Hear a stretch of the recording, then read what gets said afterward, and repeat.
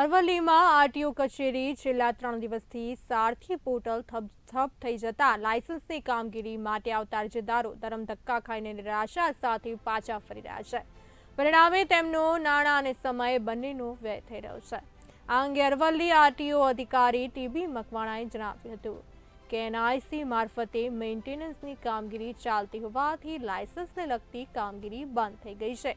સારથી portal શરૂ થતાં જ પબ્લિકને જાણ કરાશે.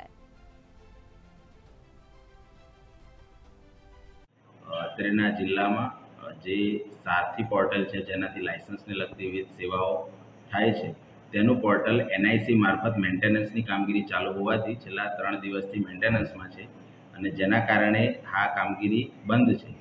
આ બાબતે હવે પછી જે કંઈ અરજદારોને ત્રણ દિવસથી કામગીરી થઈ શકી નથી તે જ્યારે સર્વર ચાલુ થાય ત્યારે તેમને પ્રાયોરિટીમાં કામગીરી કરી આપવા માટે અત્રણી કચેરીએ પૂરતી વ્યવસ્થા કરેલી છે. એવું કોઈ મેસેજ છે સર ક્યારે ચાલુ થશે એવું કોઈ? આ બાબતે હાલમાં આજે અઢાર પાંચ બે હજાર ત્રેવીસ બે હજાર ચોવીસના બપોરે બે વાગ્યા પછી ચાલુ થવાનો ઉપરથી સૂચના આપેલ છે જે ખરેખર સર્વર ચાલુ થયેથી પબ્લિકને પણ જાણ કરવામાં આવશે.